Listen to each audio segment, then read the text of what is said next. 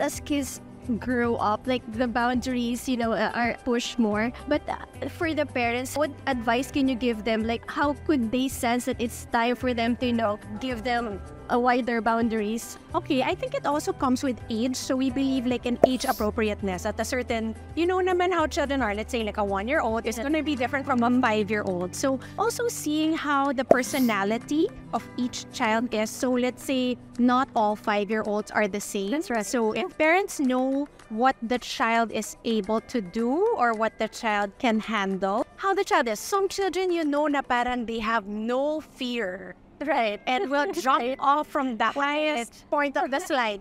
So you know that for that child, you kind of need to give more guidance. Um, you need to be more present. Right. You need to put more parameters. But let's say some children, you know, are very careful. Then then also understanding what can the child do at certain stages. And it's so easy to just Google like developmental milestones, like what children can do.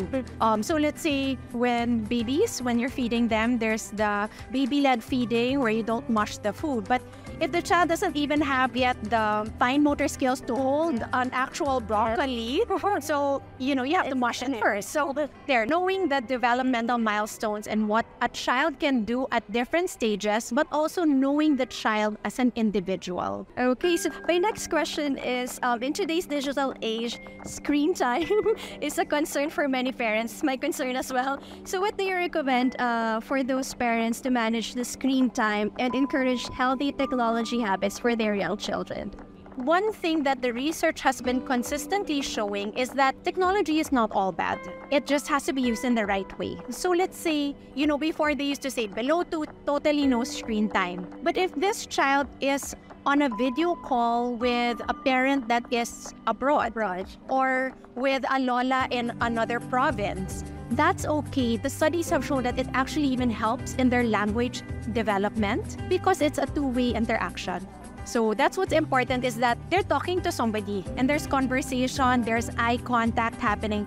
Unlike if they're just watching a video or scrolling. Yeah, so then that's more passive. Another thing, like for my older kids, what I do is certain time is no screen time. So let's say meal times is definitely no screen time, but it also means the adults have to have no screen time at that time. Yeah, so you know, it's just a short time that we everybody can converse.